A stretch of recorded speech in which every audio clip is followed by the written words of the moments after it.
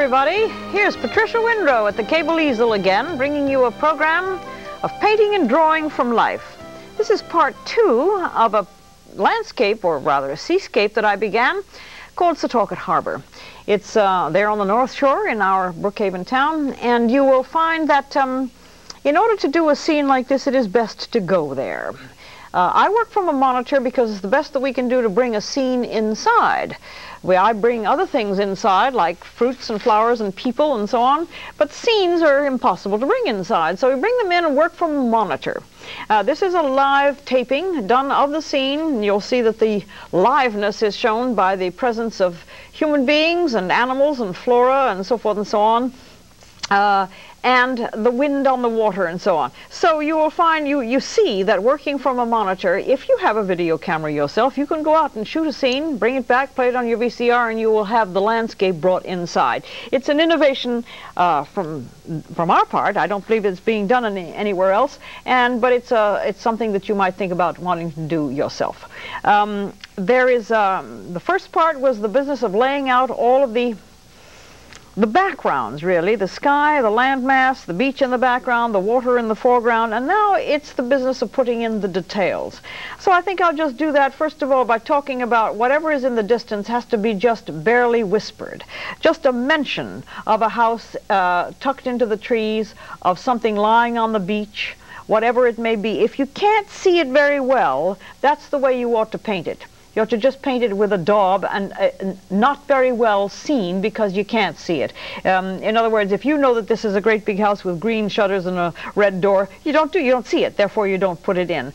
The just the indication, and it's a slight uh, it's a slight bow to impressionism that we do by doing this. But you, you, have to have some kind of resemblance to the scene that you have chosen. And if the resemblance means that there are little houses and things in the background, then by all means they should be put in.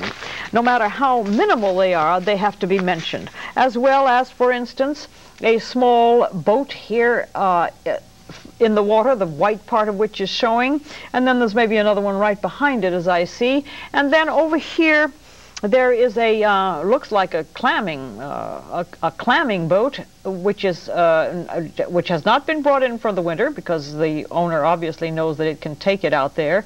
And it's vis visible only by uh, a few, by black and white and a certain pattern about it. And so that's all you need to do. Uh, if you have to go and strain, then you're putting too much detail in that you, that you can't see. I think that that's one of the things that people must learn about detail in the distance. That if you don't see it well, don't put it in well. Put in just exactly what it is that you're being told out there. The lower part, of course, is the black and there are no reflection. Well, there may be a reflection or two today, but it's so minimal that I can barely make it out.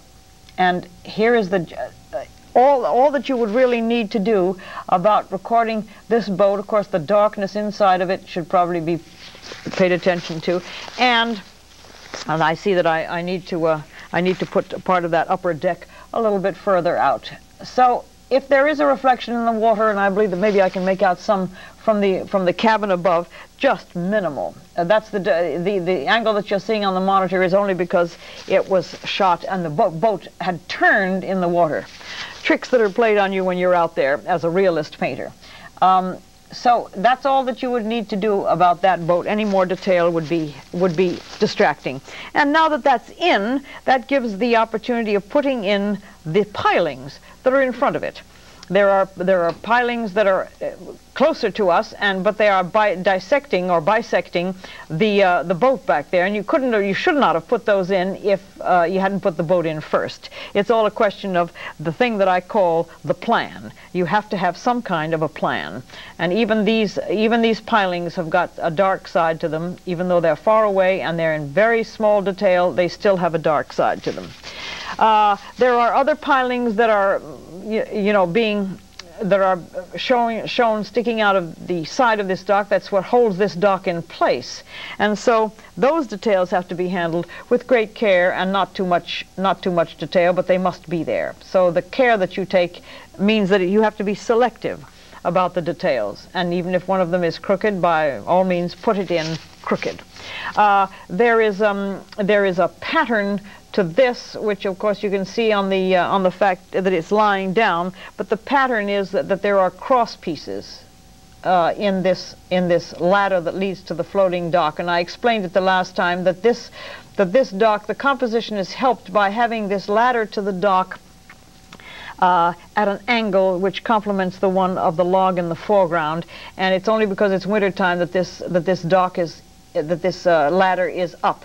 But I've taken the liberty, it's called artistic liberty, of um, putting it in this way to give you some idea of how you can in fact help your composition by selecting certain areas. It's, it, it's not exact, it's not cheating, it's called composition. At least that's what painters say it is.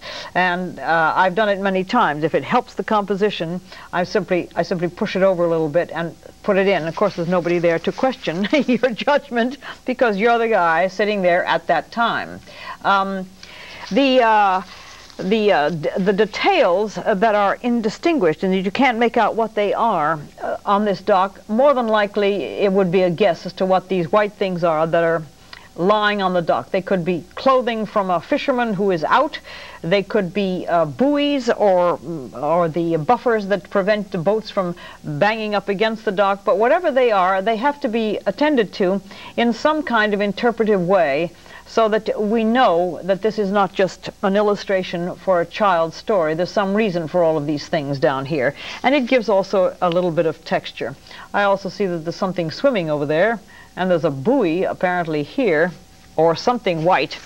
Uh, it's, it's, it's a great distance, and, I, I'm not sure that I can make it out, but there are reflections that I'm going to attend to right now by um, uh, uh, seeing that they fall direct. Oh, there's another wonderful angle piece here. I believe that's a boom that is going to be able to take care of some kind of trawler uh, equipment, but it's nevertheless there. And even though it's hard to see, it has to be put in, and because it causes nice reflections below. And so here we have, and then there's this angle, and all of these reflections now start to give a third-dimensional quality to this scene. The reflections are in the pale part of the water. This one, of course, is at an angle, therefore you pay attention to the angle of your reflections. It's called uh, ob ob uh, observing, uh, something which uh, you don't find when you are working from your imagination. Uh, I have another rather large one that bisects the sky here, and that comes right down and hits the dock. It's something to do with the anchoring of the dock. And it's, uh, it's tall enough to go past the landmass. This is called reference points. And then there's another one going past here. So all of these things explain why there's a reflection in the water here.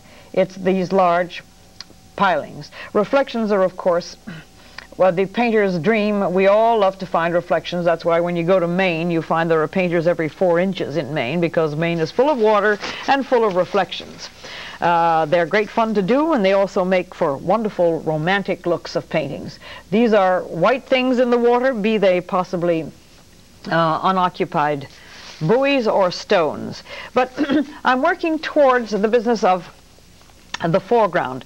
A painting can be made or broken by the foreground. If you don't pay attention to the foreground, you have uh, um, completely thrown away the work that was done on the foreground and the middle ground and the background. So detail, the details of the foreground are actually vital to the composition. And if people find paintings um, without foreground, it's because the artist has chickened out. He's decided he can't handle it.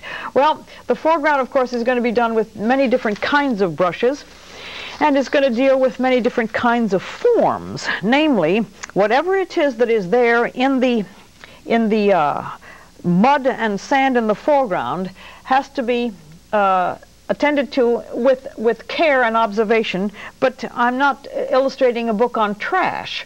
And so we have to try and understand what it is that we're looking at. Even rocks and something as simple and as uh, unobtrusive as pebbles or flotsam and jetsam on the beach have their own shadows and they have their own form. So you don't fake it. You, you have to recognize the fact that even no matter how lowly these objects are, they've got their own their own style and their own shape. So if this rock here, which is, may seem formless, uh, has got some shape to it, it's only because you're going to put it in and give it its, its shape, its form, and its shadow. A lot of, a lot of paintings that don't have foreground work um, fail. They must have foreground because that's the closest thing to the viewer. One of the most remarkable paintings in the world ever by an American painter whose name was Frederic Church painted Niagara Falls.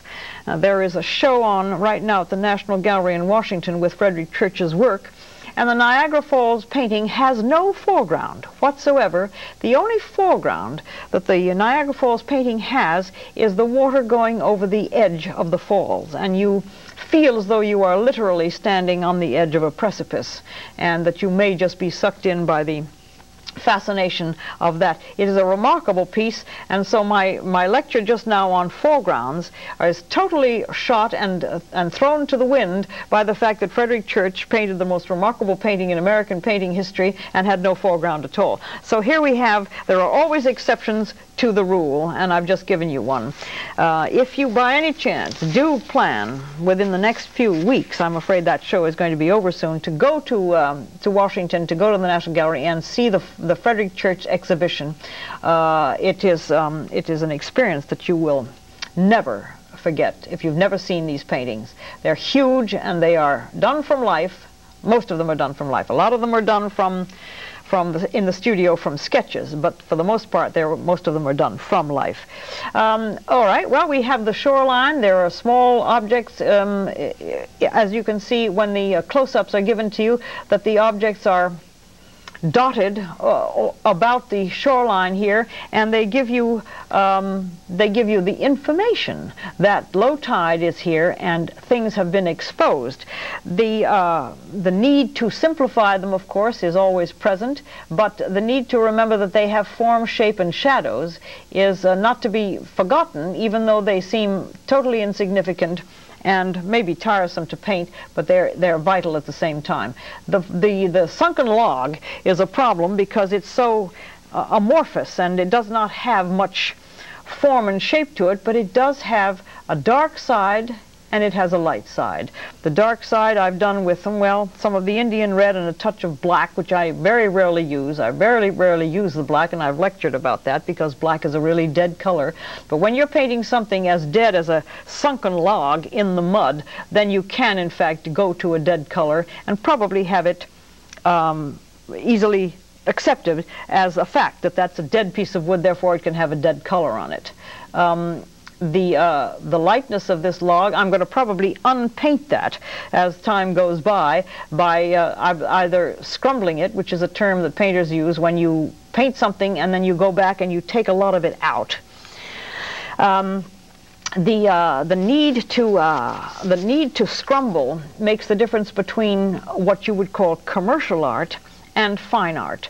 Uh, it's, it's a difficult thing to explain. It's got to do with focus. It's also got to do with um, uh, the importance of certain objects as opposed to the no importance of other objects. And I don't want this to be a study in a sunken log. I want it to be part of the entire piece, but it has to be attended to.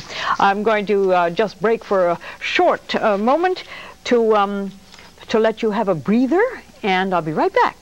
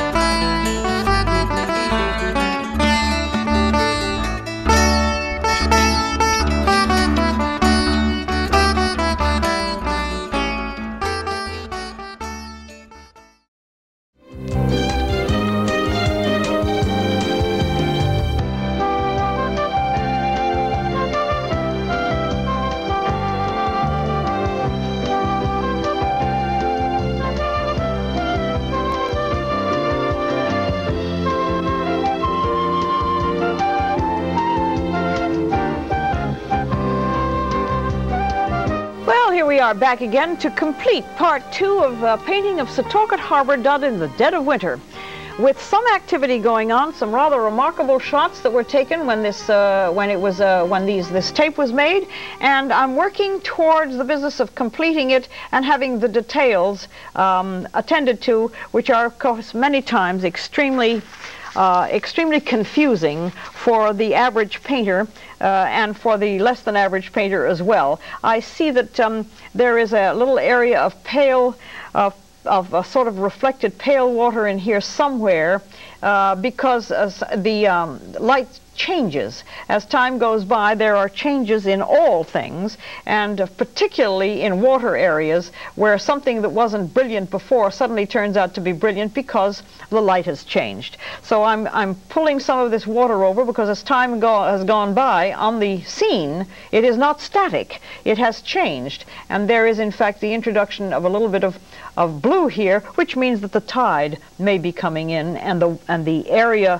underfoot is getting wetter by the minute, and of course, being as soon as it gets wetter, it becomes uh, a reflection of the sky. The sky is reflected immediately. And oh, there is a um, there is a wonderful presence of other creatures besides me at this particular scene, namely uh, a small gull, which I'm going to try to, before he decides to go away, try to put him in here in proportion.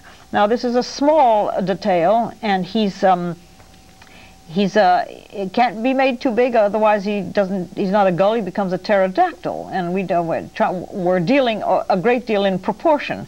I believe I'm going to put his little reflection in there because I know he had it even though he's gone.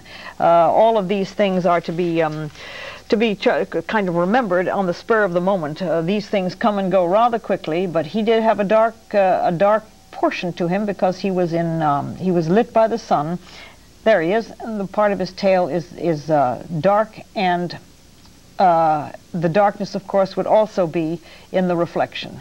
So all of these things, and I don't think that his gull or his beak was, was entirely visible. If it is, I'll go back to it later. Um, the, uh, the need to attend to the, the fleeting details that you will find when you're out in the wild is that you drop whatever you're doing. Rocks are always going to be there. These rocks that I'm doing right now are not going to go anywhere unless the water comes and covers them. But the, um, the uh, creatures are going to be uh, gone uh, fast. So I stop what I'm doing immediately and try and uh, attend to the, um, the moving objects as they are. Um, so uh, I, I, see that there's one moving in the distance there, and that apparently is uh, the one that I had before, and it's now decided to move. But uh, so I'm not going to worry about it. Maybe just give it, give him a, a, a neck. And uh, these are things that people find extremely difficult when they're working uh, in detail. Now, there's the remarkable shot that I wanted everybody to make sure they saw. This is something that you don't see very often, and that is one of those large gulls that has, uh, in fact, spied and is worrying and about about to go off with a um, with a uh, with an eel that has come up out of the mud. I think that it's a remarkable kind of shot. I mean, Mr. Marty Stouffer with his Wild America has, would kill to get a shot like that. Especially now, there you go. Now I think that that's a bonus for this program to see to see that event take place in uh, in the dead of winter, uh, right here in our own in our own area. So, uh, not expecting to see that again for a while. I sure hope you caught it.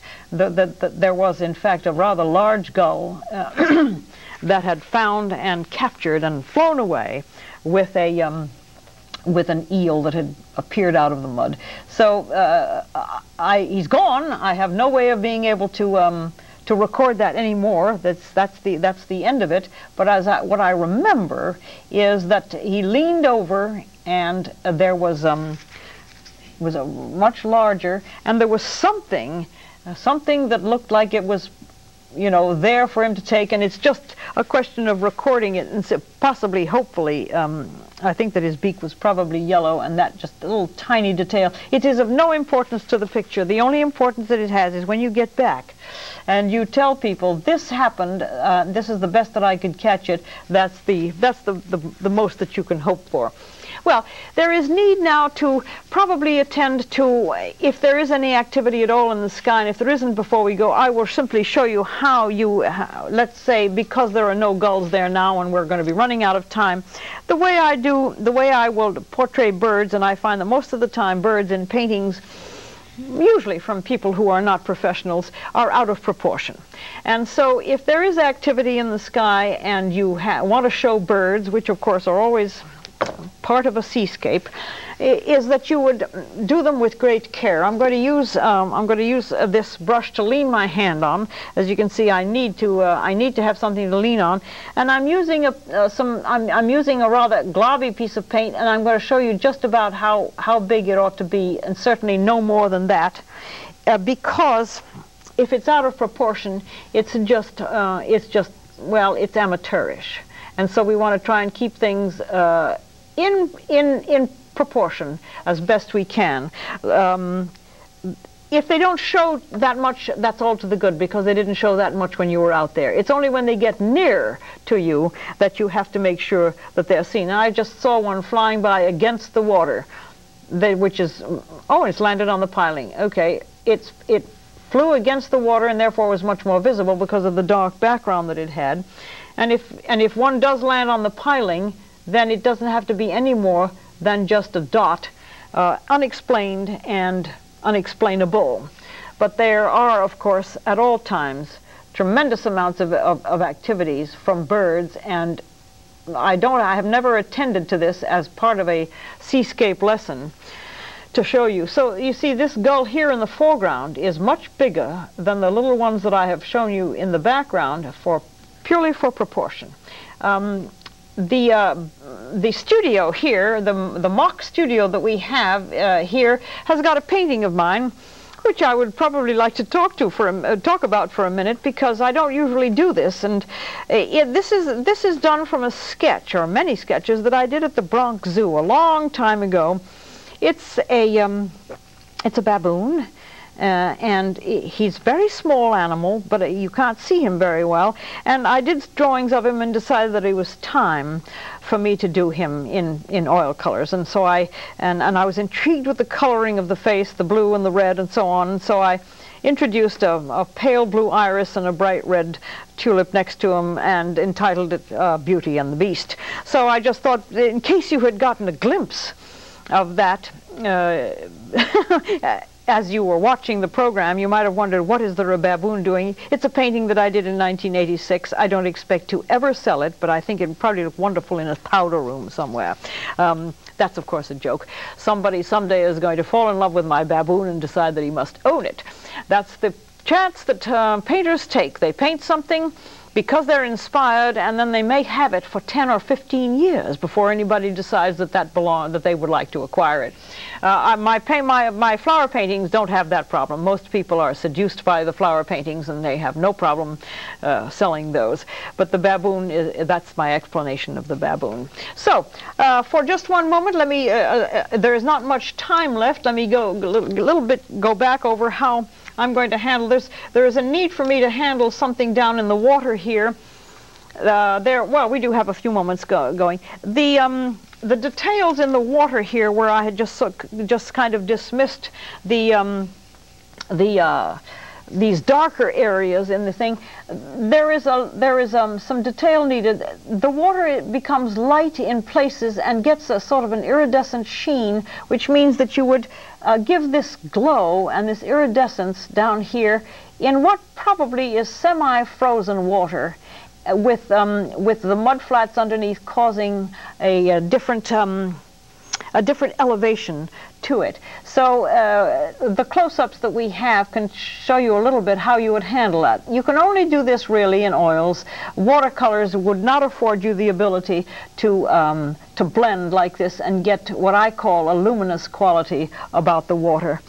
The, um, it's what draws me to water scenes is the luminescence uh, that happens out there in the wild or actually in the um, in the scene uh, at hand, there is uh, naturally taking a short time to try and record this kind of, uh, of a scene is, is understood that it is not possible to do in such a short period of time. There are people who are doing programs whereby uh, paintings are done uh, in a half an hour, and those are, well, they are not the kind of paintings that I would consider uh, saleable. They are fine demonstrations of speed and virtuosity, but I don't think that they are paintings that would have um, a painterly quality about them done. So what I'm doing here is merely an, uh, a quick instructional thing, trying to deal with some of the problems at hand of doing paintings uh, out there in the wild and to give some, uh, some information about how you get the glowing qualities. I do that when I paint flowers and when I paint water drops on flowers and I simply take the, the, the opportunity of the moment to show you how the water drops are done and I'm taking the opportunity here to show you how you would try to get the luminescence of this water. Maybe you could, we could introduce some, um, some, a few reflections uh, of the of the whiteness here of whatever it is that's on the dock and a few reflections that would come down like so, but very minimal and to be used with great taste. Uh, somewhere along the line there seems to be some uh, a railing missing along here, which uh, I find very difficult to, to see because the um, it's out of the monitor, but I do know that logically there is a railing up here that is going to tell us that the uh, that human beings walk along this, and that there is a, that there is uh, some detail probably some cross pieces as I as the as the railing is supported, and maybe down here as well. Well, I tell you, um, the uh, the business of going out and painting from life is a, a, a, really a vital part of being a painter, a realist painter. I'm not talking about uh, doing something that comes out of your mind or your memory. And that is fine to do, but it's not entirely the same kind of thing that I'm trying to instruct. Uh, certainly don't want to sit on anybody's imagination or anybody's visual remembrances of things. However, I work from life. I hope that you got something out of it. I hope that you um, will continue to watch the cable easel. We've won some prizes, so that means that somebody else is uh, appreciating this besides the audience. There are namely the judges. So uh, tune in whenever you see the cable easel advertised. I am live the last Tuesday of every month uh, at 8 o'clock to answer phone calls and questions from you, the audience, who may or may not have some question. Good night, and thanks for watching.